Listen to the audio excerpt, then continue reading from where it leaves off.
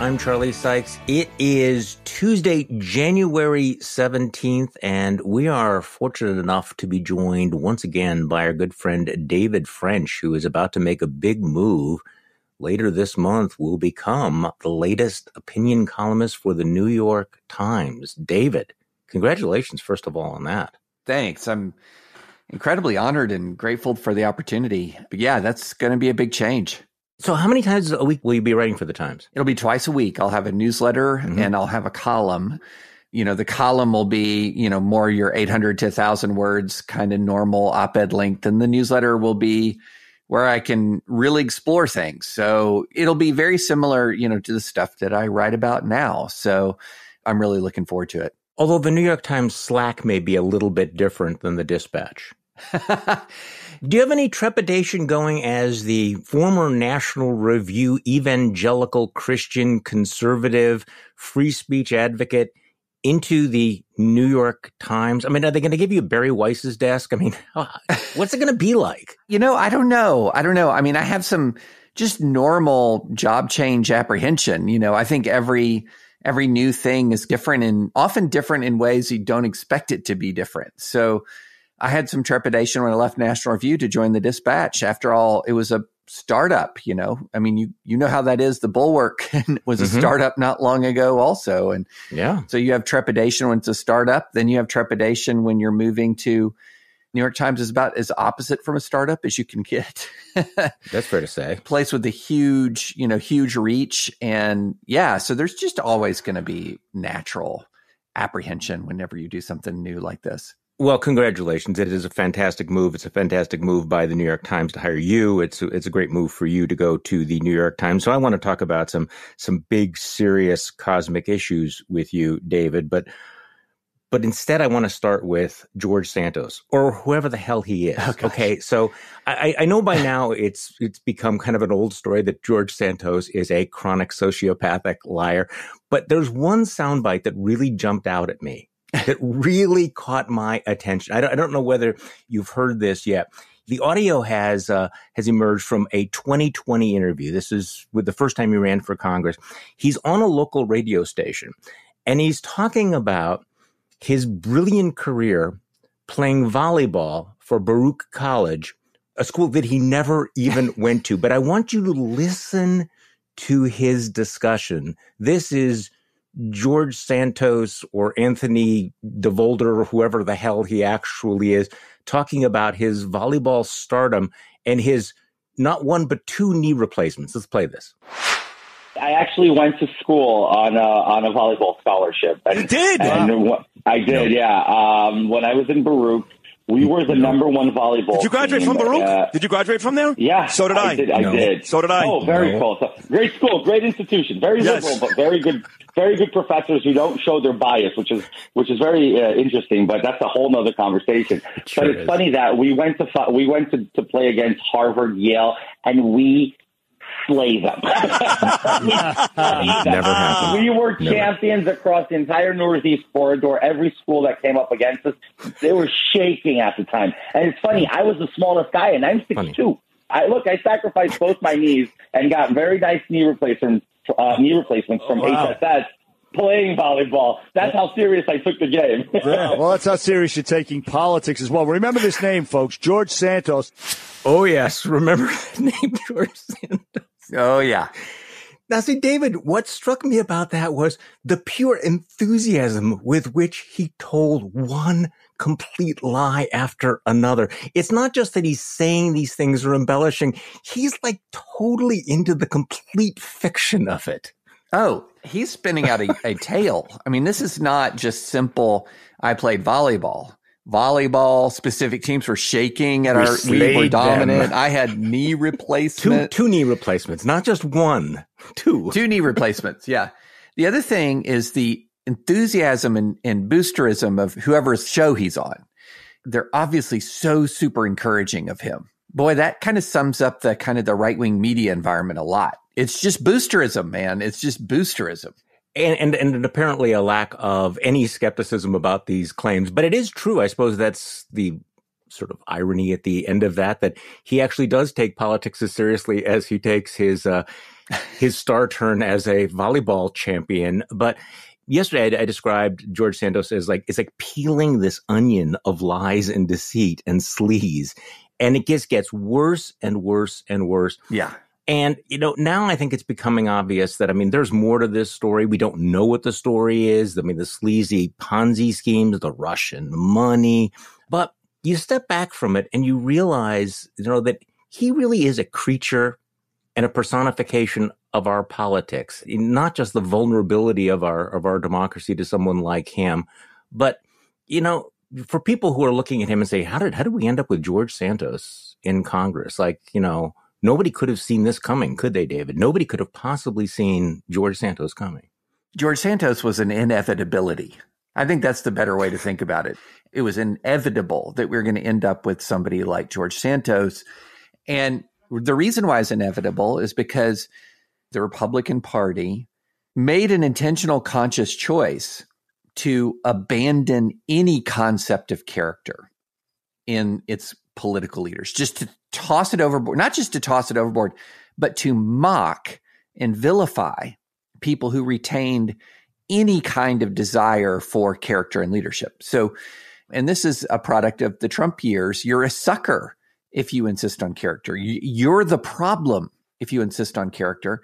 And so what ended up happening is to attain political prominence in the GOP since Trump came down the escalator in 2015, character has been an impediment. And so when that's going to happen, when you're going to create an entire culture from the top down that is moving inexorably in that direction, where you're going to be punished. It's not just that character is optional it's that you're going to be punished. You're going to be vilified. You're going to be despised if you possess and demonstrate spine. Really, at any point, at any point. For example, we've got Representative Crenshaw from Texas who joined in some of the Stop the Steal nonsense. I believe he signed on to or joined in with this utterly insane lawsuit that was designed to overturn the election and then jumped ship off of it, you know, after January 6th and voted to certify. Well, who's going to be chairing the House Armed Services Committee? Somebody who didn't vote to certify the election instead of him. You know, it's like you're punished. You have a punishment if you show character at any stage. And so this is going to attract, Charlie, a certain kind of character. They're going to say, oh, well, this is where somebody like me can thrive is in politics. And so Santos is an inevitability. The ascension of Marjorie Taylor Greene from sort of despised or um, someone you were embarrassed by and thrown to the back bench with no committees into the selfie with McCarthy after the speaker vote to, I mean, all of this is an inevitability when you say character not only just doesn't matter or isn't relevant, that character is an actual impediment. And that's where we are. Yeah, I want to underline that point. It's not just that that conservatives and Republicans made that pivot back in 2015, 2016 after a decade of saying that character matters to say no, uh, winning is all that matters. It's not just that they decided the character doesn't matter. It's that they've made it explicit that if you prioritize character over winning, you are a cuck you are a cuck conservative. And they've saved some of their, their most vitriolic disdain for anyone who says, okay, I know you want your tax cuts, but is it worth this price? Because this has been deeply internalized. All that really matters about George Santos is that he is one of the votes they need to keep control of Congress. And as long as he votes the right way, they may go through the motions of saying, yes, the lying and, and the corruption is, is, is bad, but and of course, they have this, you know, incredible armory of whataboutisms to play as, as well. So it does become inevitable when you destroy the immune system and you create this kind of post shame environment where you're likely to be attacked or destroyed for raising the question of sleaze, more likely to be, to be excommunicated for that than for yes. being sleazy yes. yourself, right?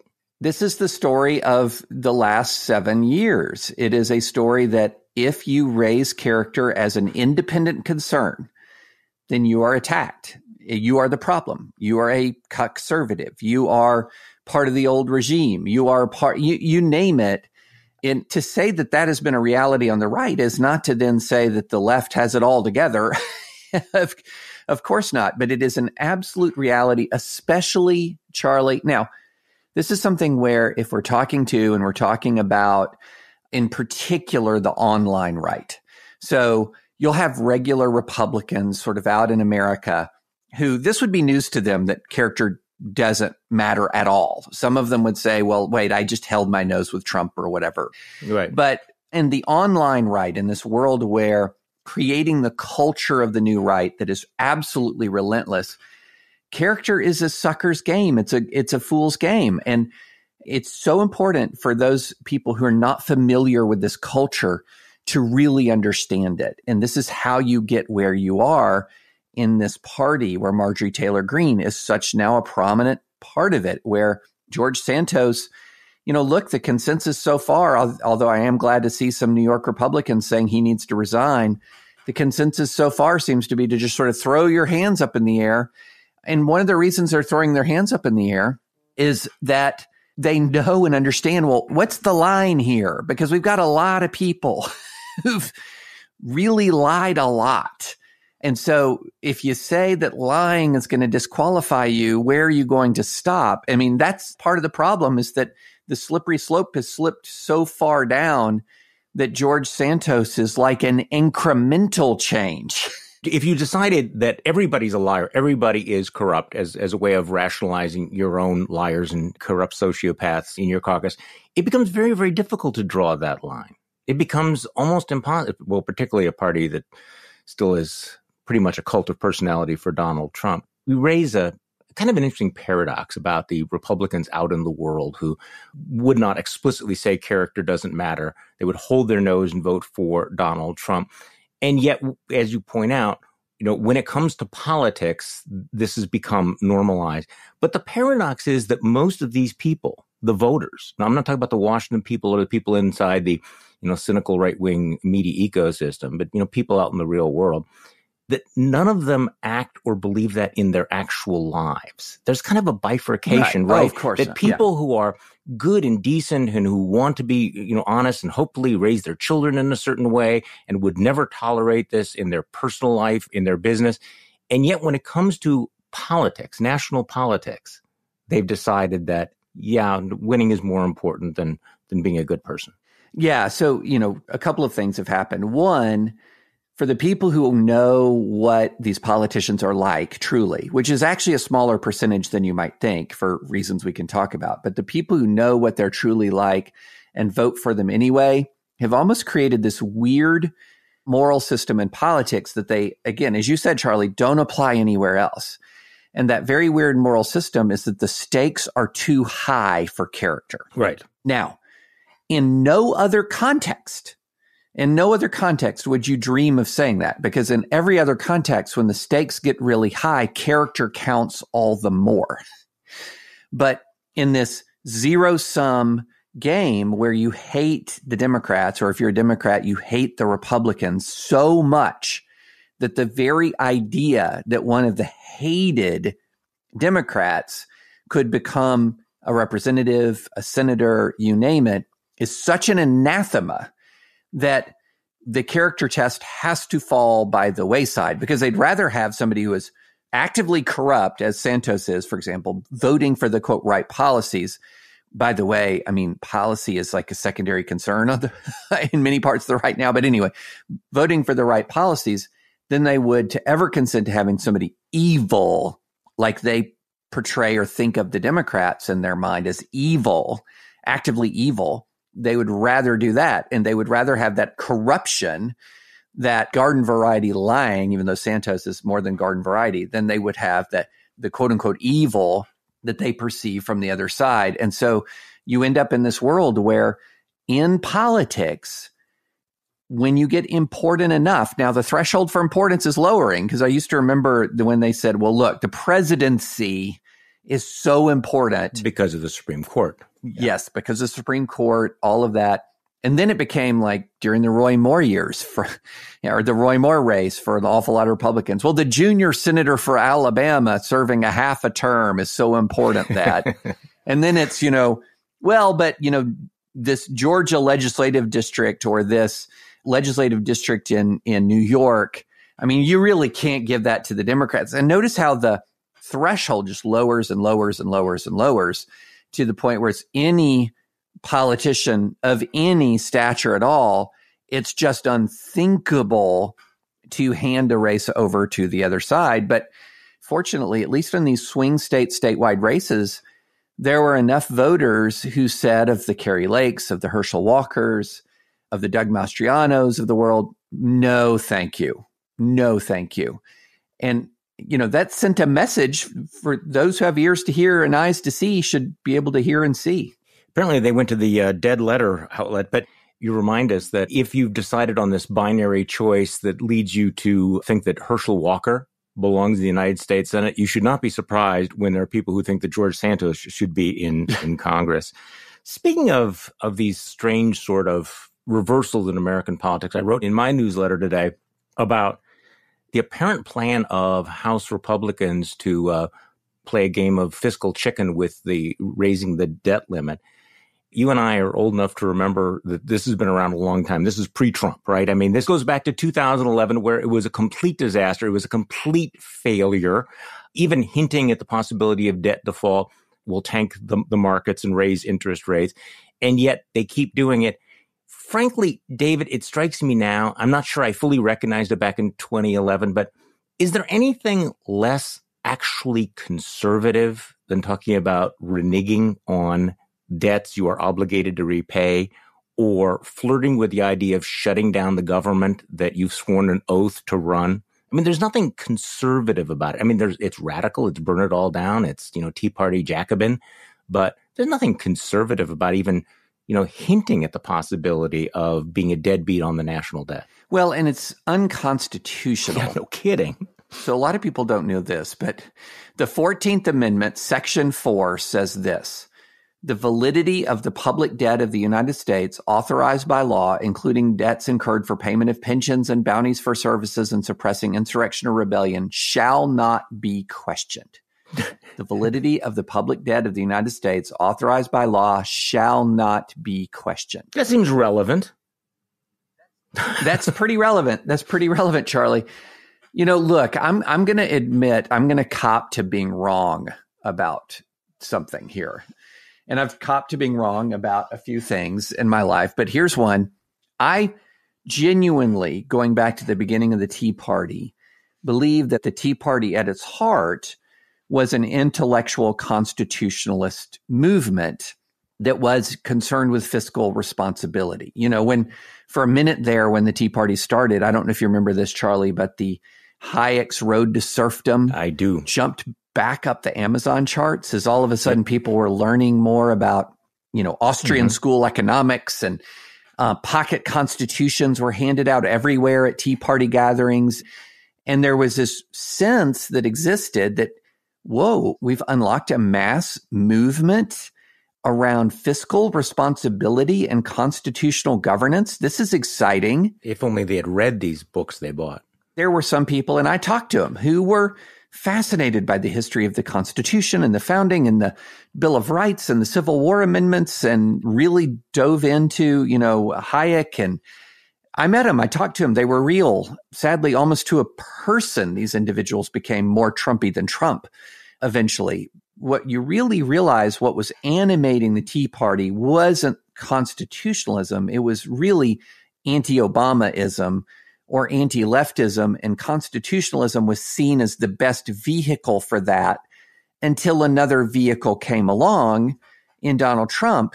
And when he was seen as the more effective anti leftist or anti democratic party force, they jumped on that train, even though in many ways was utterly incompatible with the previous path they were on. For example, Trump you know, if you go back and you look at previous presidents, when you have economic expansions, you tend to have lower deficits.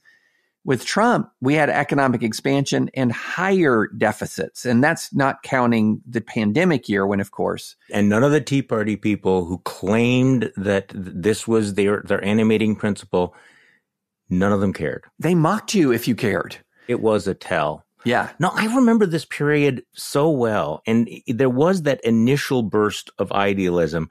And of course, one other thing happens there, which is, of course, that these grassroots causes are immediately hijacked by the grifters, by the people who want to turn it into an enterprise. And the grifters, of course, felt the need to feed that perpetual outrage machine. But I think you, you look back at that in, in light of what's happened since, and it, it is hard to take the claims of fiscal conservatism and, you know, small government idealism that seriously. So, David, you've raised an interesting point you've admitted you were wrong about something. And of course, I have admitted that I am wrong about many more things. I think you and I have had conversations where we've gone back and forth like what was the wrongest thing you ever did? I always win those competitions because I I can always play the I was much wronger card than than you can. We live in an interesting period. There's the hard partisanship and the tribalism where you go along with whatever the tribe believes, even if it is completely opposite to what they believed before. But then again, there are folks, and I, have told this to you before, but I think one of the reasons why you have become so important as a conservative commentator, but also a lightning rod, is that you have been willing to rethink things. And in many ways, that's difficult to say, I used to think this, I was wrong. There are a lot of people in politics who have completely gone 180s, but never acknowledge why they thought they were wrong before, what their process of changing their mind is and there is a school of thought, of course, that thinks that any time that you say, you know what, I was wrong, I have now changed my mind, that somehow this is a sign that you have betrayed principles or that you are weak. Right. And I want you to talk about this because, uh, you know, this is one thing that I found liberating over the last few years. And, and what I admire about you is your willingness to go back to, you know, deeply held positions you have, you've articulated in the past and say, you know what? I have changed my mind one of the big issues you changed your mind on was the issue of same sex marriage. Yeah. And this created a huge firestorm on the right where people who thought, oh my God, you know, you've betrayed everything you ever believed. But so let's, let's talk about that. How, how have you changed your mind? Maybe at a larger point, we can get to the question of what is that process of changing your mind? I mean, I, I think there's a certain intellectual deadness.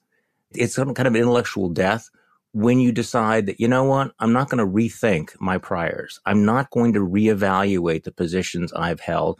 This is where I am. And you know what? I just, I'm, I'm not moving from this particular position. So, so talk to me about the, that process of going, wow, I have written 10 years worth of articles that now I'm willing to say, hmm, maybe I was, I was just wrong. yeah, that, that's a great question, Charlie. So I would say it's really kind of a two step process uh, for me. So let me put it this way the rise of Trump was humbling in a number of senses. One, it really revealed limits of political prognostic. My, you know, how much do I know about politics if I'm going to sit there and say in 2015, no way Trump wins this thing, right? And not only did he win, he was never really seriously threatened in the, in the whole way. But that would say, well, you're not a great political forecaster. But it was deeper than that, Charlie. It was deeper than that because a Donald Trump does not come out of a healthy movement.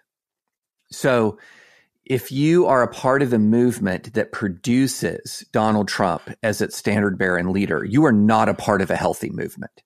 And if you're not a part of a healthy movement, that's going to make you think hard about how did I miss this?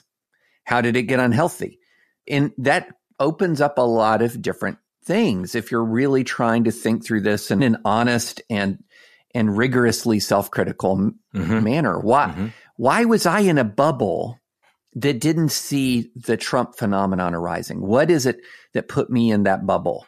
What is it that I was misjudging about the nature of this conservative movement that you and I have both been a part of forever? And so that actually begins a process of opening you up a lot more. And then when you open up your mind, you've got to follow where that leads. And you know, the marriage situation is a little bit different from that pattern in the sense that I had already been torn about that issue for a long time. But when I'm talking about this sort of the post Trump stuff, it really did start a process where you say, how did I miss this? And not just the political prognostication part of it, but the culture part of it, which is so huge. Well, how do you think you missed it? And when I say, how did you miss it? How did we miss it? Because yeah. I identify with this. I, I feel seen as yeah. you describe that, that process. How did we miss this? How could we have been in that bubble? Yeah, well, that that's the key word, Charlie. I realized I was in a bubble. Here I was living in rural Tennessee believing that I was the one not in a bubble, right? Because I'm out in red America. I'm out in what turned out to be MAGA country. I mean, to its core, turned out to be MAGA country. Yet here I am. I'm living the life, you know, since I graduated from law school of the conservative legal movement, the Federalist Society world. And that's a world of ideas, of intellectual debate. That's a world where, look, if you're a FedSoc affiliated professor or you're a FedSoc affiliated judge and you go to these FedSoc events, uh, if you're talking about sort of the legal battles of the last 25 years, what you're living in is a world of ideas and a world of intellectual argument. That's what I did, Charlie. For a long time, I would go and do these FedSoc debates all over the country where, you know, I'm talking to some and debating some of the leading progressive law professors. And in my world, going back to FedSoc and law school, you know, Jack Kemp would come and would talk to us. Remember Jack Kemp? Mm-hmm. And he would talk to us. He would literally sit in a room for us for two and a half, three hours talking to us about innovative conservative policy ideas designed to address racial wealth disparities. And that was my world growing up, what conservatism was. It was a world of intellectual debate. It was a world of integrity because in the 90s, we drew a sharp contrast with Bill Clinton in the way the Democrats treated and accommodated Bill Clinton's corruption.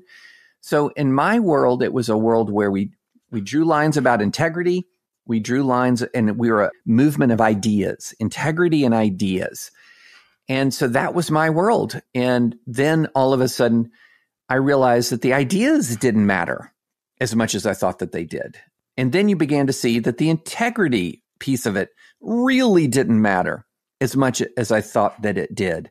And so the two twin pillars of this movement that I believed I was a part of turned out to not be as real as I thought they were. It wasn't about the ideas, it wasn't about integrity. And that's a, a hard realization. Now, it's not universal. Like to this day, I, people who hate on the Federalist Society, I will say, you know, the Federalist Society helped save America in 2020, don't you? All these FedSoc judges who turned back all of these Trump challenges uniformly, all of them, either FedSoc or FedSoc affiliated or FedSoc friendly, and they just tossed this Trumpism out of court. And right to this day, conservative judges and members of the conservative legal movement are blunting Trumpism through the special, you know, overturning the special master rules and you you name it, stopping some of these unlawful DeSantis laws and regulations in Florida. But so it's not that that part of the movement never existed and doesn't exist at all anymore. It's just that it didn't characterize the movement like I thought that it did.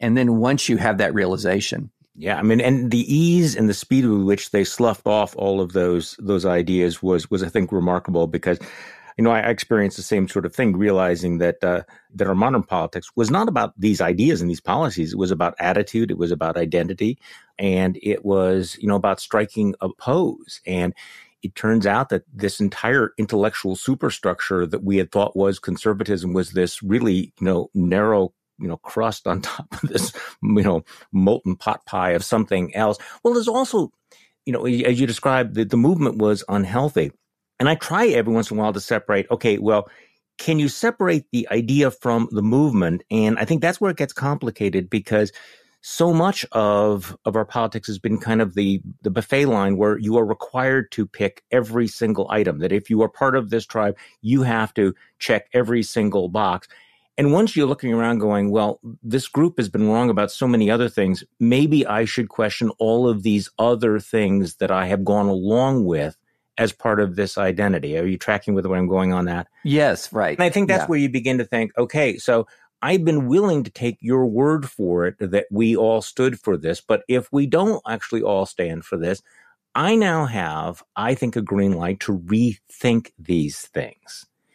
Here's, I think, one of the bitter ironies of all of this is that many of the people who are you know, have, have gone uh, complete MAGA or anti anti Trump, they've also changed their minds about a variety of things. They have flipped on the question of American exceptionalism, on free trade, on free speech, you know, on the size of government, all of these things. Foreign policy. And yet it's only when those of us who've broken with Trump think maybe we ought to rethink some of these other issues. Well, now look, see, you are reversing, you are abandoning because you don't like the orange guy because, you know, orange, orange man bad. You have changed your ideas.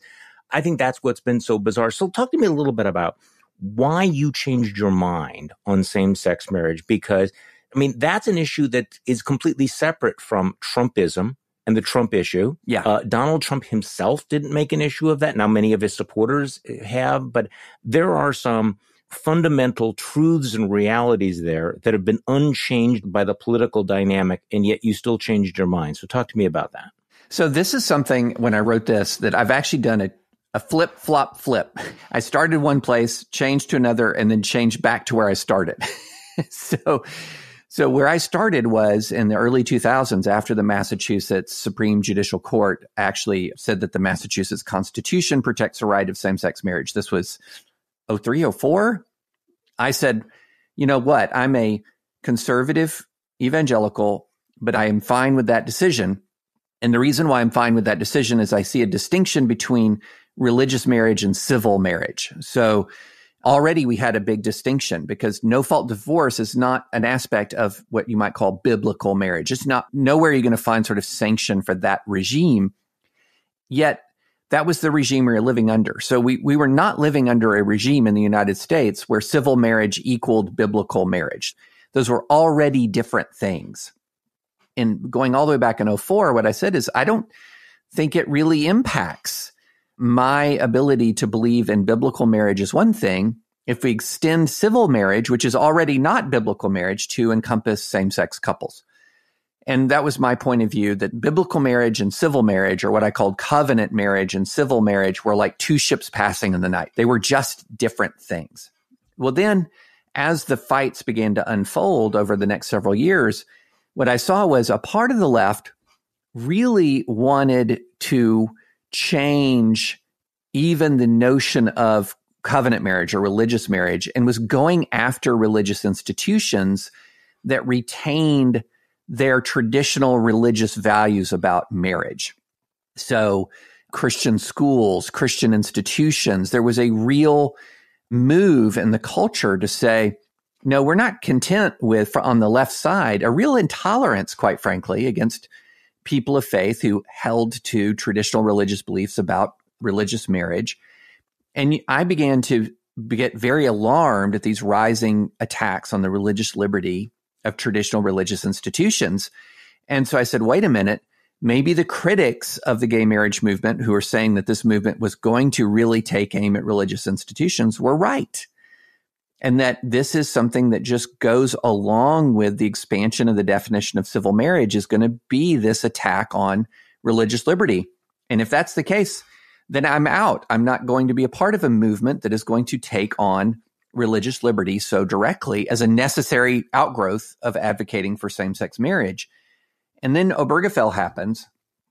And Kennedy, Justice Kennedy says very clearly in the decision, he says, you know, look, there are people of goodwill who have different beliefs about marriage, and our nation should accommodate people of goodwill who have different beliefs about marriage. And I remember when that came out, I remember thinking, huh, those are good words. We'll see. Did you think that that decision was was correct? Oh, as a matter of pure constitutional law, I didn't think the decision was correct. Mm-hmm. I don't think the the original meaning of the 14th Amendment encompasses a right to same sex marriage. But when he said those words, he said, I remember thinking, oh, well, that's interesting that he seems to be very specifically saying religious liberty and same sex marriage can coexist. Mm-hmm. Mm-hmm. And I remember thinking, we'll see. Well, we've seen, and the result is literally there has not been a significant religious liberty loss on the merits at the Supreme Court since Obergefell. So it is both two things are true at once right now in the US. One, same sex marriage is the law of the land. And two, religious liberty as a legal matter is more strongly protected than it's ever been. Okay. So all of a sudden you go back to this original sense that I had back all the way back in 04 that look, these two regimes, legal regimes can coexist. Religious freedom can coexist with same sex marriage. And then, you know, you began to see rumbles post uh, Dobbs that Obergefell might be overturned, which I think would be the wrong decision to overturn Obergefell because of the reliance interests that people have placed in Obergefell.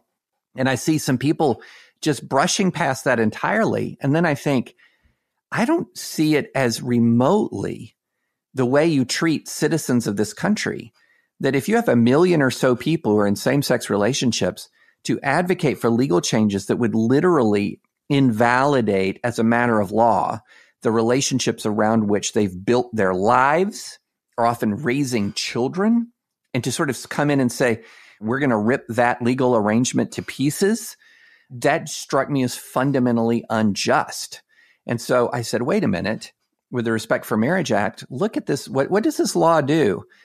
It says for those people who have gotten married in reliance upon Obergefell or in reliance upon it being lawful when they get married, that it can't be disturbed on the basis of race, sex, etc., sexual orientation. It can't be disturbed. And then it flips around and gave some concrete religious liberty protections to all Americans, of course, who have religious liberty rights, but it gave concrete religious liberty protections that should really reassure conservative and traditional people of faith. And I thought it was an a, exactly sort of a legal codification of where the precedent had been heading anyway, and was actually a sign of a healthy kind of compromise where people who supported same sex marriage could say to people of faith in this traditional conservative faith in this country that we know, understand, and respect your dissenting religious beliefs. And then people of faith could turn around and say, we know and understand that your marriage upon which you've built your life should not be ripped apart by operation of law, that you should have security in the relationships that you're building. And you could say both of those things to each other at the same time and reach a real and meaningful compromise. And I wrote that. And oh my gosh, yes. Charlie. And now, I, now I note, I didn't change my right. own religious views about marriage at all, but whoa. this, of course, you know, has been the big concern is are we going to be able, you know, with all of our talk about diversity and pluralism to understand, you know, that there are different, deeply held, legitimate dissents here, as opposed to labeling them all as something that need to be, you know, either as bigotry or that need uh, the, the force of the state to correct. And it is kind of remarkable when you think about it, considering how toxic our political and cultural times are, that we do appear to have settled into or are, trending toward this compromise, this live and let live approach, which is always a little bit tenuous. Did you have any concern, though, that given the trajectory of the culture wars and the need to keep, you know, escalating them, that that this will hold? Oh, of course, I've got concern about it. I think that this compromise is more secure than most compromises because it's doubly secured both by the Supreme Court and the legislature. So the Supreme Court decided Obergefell and it has decided a series of protective decisions around religious liberty. And Justice Alito in the Dobbs decision went out and said Dobbs should not be used to call into question Obergefell. And so you have Obergefell, you have religious liberty protection, you have a reaffirmation of Obergefell in Dobbs. So that's the judicial side of it. Then you now have a federal law that both protects the right of same sex marriage and protects religious liberty. It doesn't protect religious liberty as much as it could have, but it certainly provides some concrete additional protections.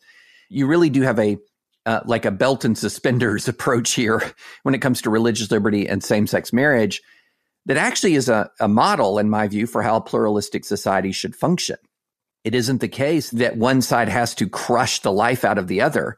We can accommodate dissenting views in this country. You published this piece about a progressive judge uh, who helped preserve American pluralism in a religious liberty case. And we don't have a lot of time here, but can we talk about all of this? This is a, a lawsuit filed by a group of students who sued the Department of Education over the religious exemption to Title IX, the federal law that prohibits sex discrimination in federally funded education programs. And they went after this religious carve out saying it violated the Constitution because Christian schools were getting, they argued, were getting preferential treatment and the government was funding discrimination. And this was assigned to a liberal Oregon judge, a Clinton appointee named Ann Aiken. And you highlighted her decision because she came out very, very strongly in favor of religious liberty and pluralism here. Talk to me a little bit about that case. Yeah. The one thing I want to communicate to people is the truth that our religious freedoms do not hang by a thread. Hmm. And how do you know they don't hang by a thread? Well, you can talk about judges and judicial decisions all day, and people will just say, well, that's only because of the Republican nominated judges. And what I wanted to do was provide a concrete example of that that's not actually the case. Um, and in this circumstance, you had a coalition of students on the left, mainly LGBT students, suing the Department of Education, not the Christian colleges, Charlie, the Department of Education, and filing the lawsuit in Eugene, Oregon. Now, for those who are savvy litigators who are among your listeners, they're going to start to smell a whiff of something called forum shopping. So, Forum shopping is when you try to file your case in the most favorable jurisdiction possible, where you're going to try to get a favorable judge. And there's nothing natural about this lawsuit that says Eugene, Oregon is where you need to sue the Department of Education, right?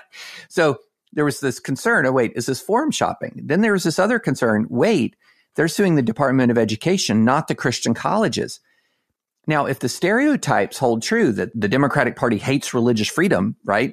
Well, then you have another concern that maybe the Biden Department of Education isn't going to vigorously defend the lawsuit. In other words, they're going to kind of roll over for their allies on the far left.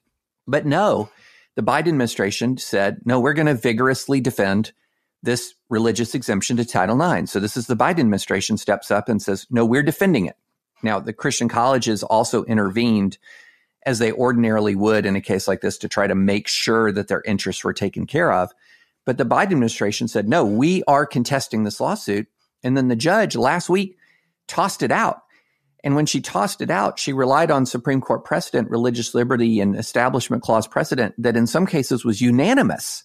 In other words, had been decided by both Democratic nominated and Republican nominated judges. And what I wanted to show people is yeah, there are people who are going to threaten religious liberty. There are people going to file lawsuits. But here you had a progressive judge responding to the arguments by a Democratic administration in support of religious liberty, applying precedent decided by both Democratic and Republican nominated judges to uphold religious liberty. That's not exactly the culture war narrative that you're going to hear on Fox News in particular and cable news more broadly, but it's much more broadly reflective of how solidly protected religious liberty is in this country. Well, then I suppose we ought to end on that optimistic note because I'm certainly hoping that you are right about all of this. My only concern is that every extreme position that we see floated out there tends to become weaponized and then normalized in a very short period of time. But your point about the solid foundations of religious liberty in the courts right now, I, I think is well taken. And this is one of the, I have to tell you, I, I think of it as a, as a dangerous blind spot for some of our progressive friends that they don't understand the degree to which that has whipped up opposition, that sense that they are coming for your rights, that they are going to come into churches and make you do things that violate your conscience. You know, to the degree to which people can be reassured that, in fact, um, you know, their liberties are going to be respected and protected, I think it dials down the temperature um, and and and and that may happen over time, over a long period of time. It's not going to happen anytime soon. I couldn't agree more, and I couldn't agree more that there are progressive folks who need to hear this. Look, leave religious institutions alone. I mean this this should be a pretty simple admonition. Leave religious institutions alone, and and look, they haven't been left alone. I I spent years and years and years protecting Christian student groups from being tossed off campus, for example, or defending professors who are denied promotions or advancement because of their religious beliefs, or students who faced reprisals because of their religious beliefs. And a lot of folks who are progressive don't even know about these cases because they're not talked about in maybe the media outlets that they consume and li- they listen to or watch. And it's really important, I think, to to establish a rule that says, look, and to understand the First Amendment allows for private associations to, you know, order their affairs in according to their value system. And I think we'd all be better off if we acknowledge that reality as, as an indispensable part of pluralism. Now, there are obvious limits, Charlie, obvious limits. You know, you can't sit there and say, I've got a religious liberty objection to serving somebody on the basis of race, a hamburger or whatever. There are obvious limits, but as a general rule, you're going to be able to organize your private organizations according to your values. And I think that that's a valuable rule and a valuable rule for a pluralistic society. David French has been a senior editor at The Dispatch, which he helped to launch and a contributing writer at The Atlantic. And later this month, he's going to be joining the New York Times as an opinion columnist. It is great to talk with you again, David. Thank you so much. Thanks so much, Charlie. Really appreciate it.